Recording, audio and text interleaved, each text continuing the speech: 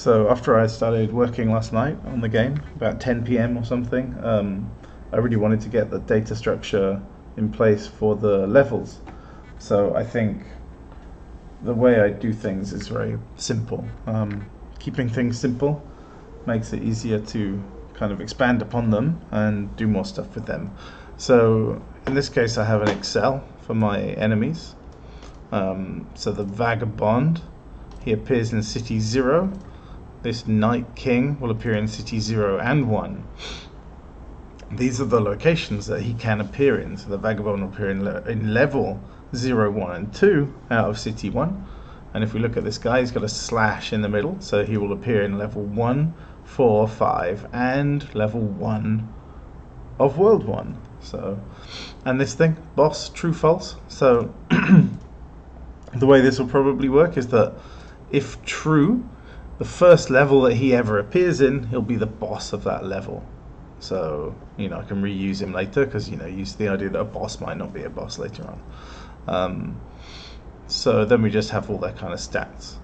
The thing I really wanted to get working, which I finally got doing this morning, um, was, and this is actually the first time I'm running it because I think it's going to work. I've got to go to work soon.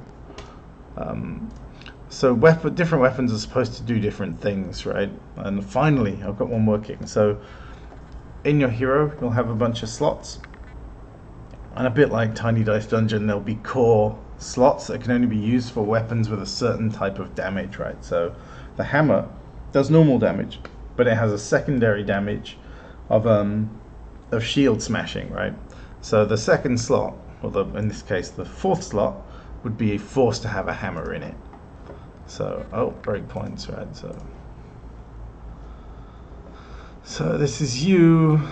Um, I think this is the same as it was. So this is like a character. He's got no armor, right? He's got no armor or shield or anything. I don't know what he's got really. So you just whack him with your sword. Easy, easy times, and he dies, right? The next level. So I'm going to pause it. I have to select a hammer. So this guy has a shield. He's got lots of armor and stuff. So the idea is that I want to have characters drawn in multiple layers. So when you hit them with the correct thing, so you'll see he'll block my attack, which will be my the damage of the hammer, but he'll take damage on his armor.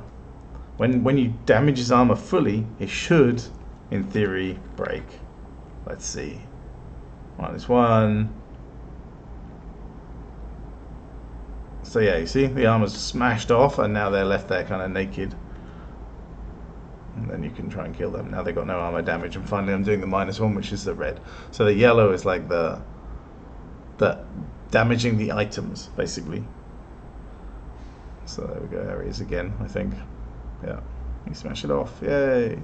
It's kind of fun, like I, I love the idea of like you know, peeling back the layers or smashing bits of equipment off the characters. It sounds like really stupid.